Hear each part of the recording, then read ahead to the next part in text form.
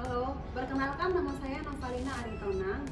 Di sini saya akan sharing tentang kelemahan saya yaitu kecelakaan pada tanggal 11 Maret 2021 kejadiannya jam 3 pagi.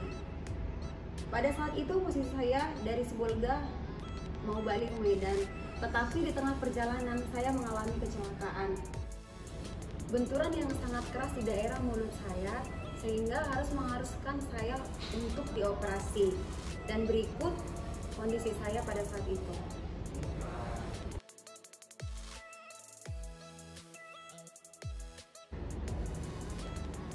Pernah kebayang nggak kejadian yang saya alami ini menghabiskan biaya berapa? Wow, ternyata 50 juta. Dan semuanya, semua tagihan saya dibayar oleh Panin.